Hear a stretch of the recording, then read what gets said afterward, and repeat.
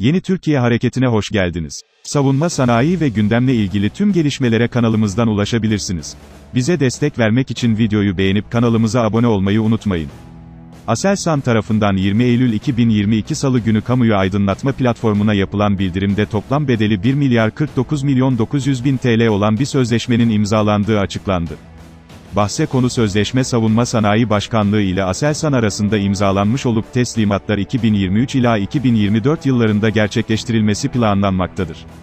Aselsan tarafından KAP'a yapılan bildirimde ise, Aselsan ile Savunma Sanayi Başkanlığı arasında yapay zeka destekli jandarma KGYS projesi adında, toplam bedeli 1 milyar 49 milyon 900 bin TL tutarında bir sözleşme imzalanmıştır.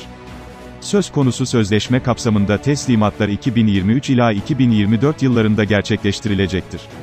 İfadelerine yer verildi. Aselsan KGYS ile kent güvenliğinin ayrılmaz parçası olan kapalı devre kamera sistemleri ve bu sistemlerin desteklediği plaka tanıma sistemleri için sistem tasarım, uygulama alanına özgün kurulum planlaması, direkt saha dolabı tasarımları ve enerji ihtiyaçları projelendirmesi yapılarak kurumların taleplerini karşılamaktadır müşteri taleplerini en üst memnuniyette karşılamak üzere detaylı analiz ve tasarımlar yaparak yeni çözümler geliştirilmektedir.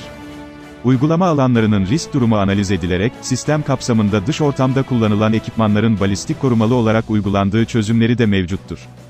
Aselsan ile Savunma Sanayi Başkanlığı arasında Kent Güvenlik Yönetim Sistemi ve Plaka Tanıma Sistemi projesinde sözleşme değişikliği imzalanmıştı. Aselsan tarafından 31 Aralık 2020 günü kamuyu aydınlatma platformuna yapılan bildirimde değeri 308 milyon 692 bin 989 TL olan bir sözleşmenin imzalandığı açıklandı. Bahse konu sözleşme Savunma Sanayi Başkanlığı ile Aselsan arasında imzalanmış olup teslimatların 2024 yılına kadar yapılması planlanmaktadır.